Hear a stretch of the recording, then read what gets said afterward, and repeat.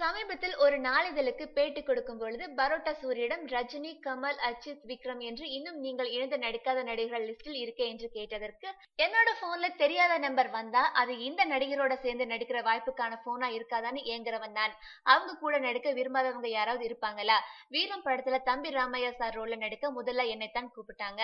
ஆனா அந்த கேரக்டர் அஜித் சாரை கலாய்க்கிற கேரக்டரா இருந்துச்சு. நான் அஜித் சாரோட ரசிகன். என்னோட தம்பி ஊர்ல அஜித் ரசிகர் மன்றம் வச்சு அவர் படம் ரிலீஸ் ஆகிறப்ப கட் அவுட் அபிஷேகம்ட்டு அமர்கலம் பண்றவன். அப்படி இருக்க அஜித் சாரை கலாய்க்கிற மாதிரி நடிச்சா வீட்டுக்குள்ளேயே வெட்டுக்குத்து ஆயிடுமே. அதனால அந்த வாய்ப்பை மறுத்துட்டேன். அஜித் சாரை திட்டித்தான் நடிக்கணும்னா அவரோட சேர்ந்து நடிக்கிற ஆசை உதறிட்டு அவருடைய ரசிகனாகவே இருந்து விடுகிறேன். அவர் மேல அம்புட்டு மரியாதை என்ன என்று பரோட்டா சூரி கூறியுள்ளார். மேலும் சினிமா செய்திகளை உடனுக்குடன் தெரிந்து கொள்ள கீழே உள்ள சப்ஸ்கிரைப் பட்டனை அழுத்தவும்.